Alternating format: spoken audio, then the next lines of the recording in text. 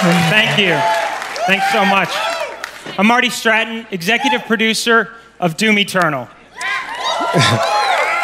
and I'm Hugo Martin, creative director on Doom Eternal.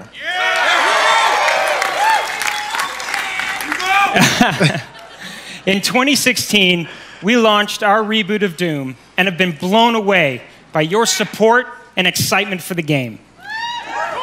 Thank you.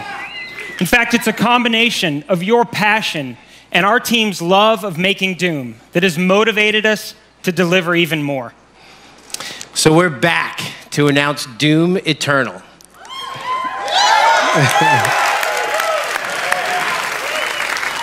An awesome, awesome new sequel to Doom. For the past two years, it's been so inspiring to hear you guys talk about what you'd like to see next. And I gotta tell you, we're right there with you. Like, you want the Doomslayer to feel even more powerful?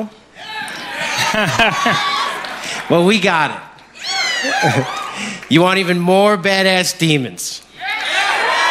Well, there are twice as many in this game. you want to see hell on earth?